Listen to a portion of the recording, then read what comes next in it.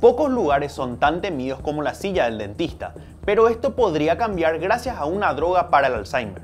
¿Cómo pasa esto? Científicos ingleses descubrieron que utilizando esta droga los dientes podían regenerarse solos, evitando así procedimientos como el empaste dental para curar las caries. Al regenerar los dientes en lugar de agregar un componente externo, se logra evitar el debilitamiento del mismo y así se previenen futuras infecciones.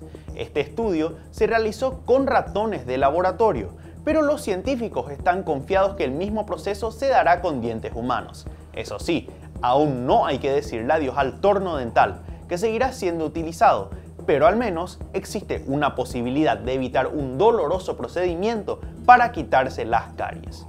Para la Nación, soy Juan Pablo Saracho.